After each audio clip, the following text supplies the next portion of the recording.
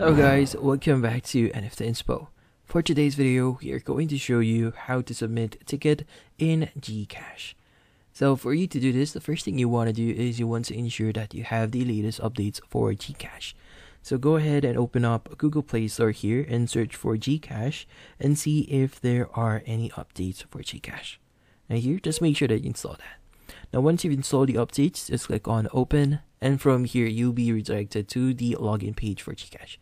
Now in here, since we want to connect or submit a ticket for Gcash, we first want to click on the help center that you see at the bottom left of your screen. Now in here, it's going to lead you to the section where you could actually read a few articles that might actually help you. So you might want to try some of the articles that you'll see here so before you see the articles, make sure that you choose the appropriate one. So if you're having problems with your Gcash account, go ahead and choose G- Gcash account. So if you have problems to load, send bills, go ahead and choose the appropriate one. But in this case, let's just choose your Gcash account. Now again, in here we have a category. So in this case, we want to choose the section that says verify your account.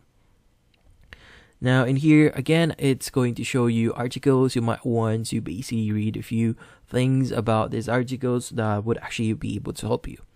Now in this case, uh, we want to choose the option that says what should I do if my verification failed. So just click on that. And from here, it's going to give you details about your uh, problems or things that you could do to solve your problems with Gcash. But when you actually go ahead and scroll down a bit, you see a section that says was this article helpful? So in this case we could just click on the submit a ticket option there.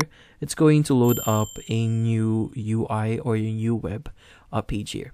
So in this case we could just need we just need to input the details needed here. So that includes your email address your gcash registered full name. So this is the full name that you entered when you when you actually registered your phone number. So make sure that that you enter the correct name here.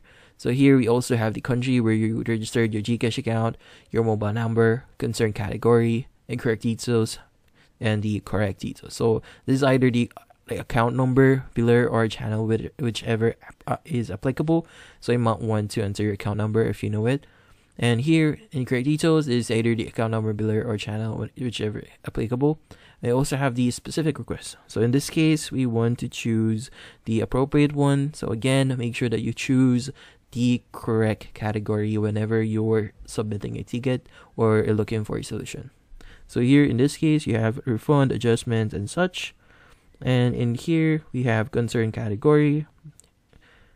But yeah, so in here, in the section that says kindly provide all details, make sure that you are quite direct and very clear on what your concerns are. And if you have any attachments or screenshots or documents that you want to submit as well, just uh, it, click on add or drop a file here and just click on submit. Now from here, you just need to wait for their response via your email email address or whichever contact means that they may contact you. It either they might text you or email you or even call you depending on your concern. But yeah, so that's how you submit a ticket in Gcash. And hopefully this video was able to help you. Like and subscribe to NFT Inspo.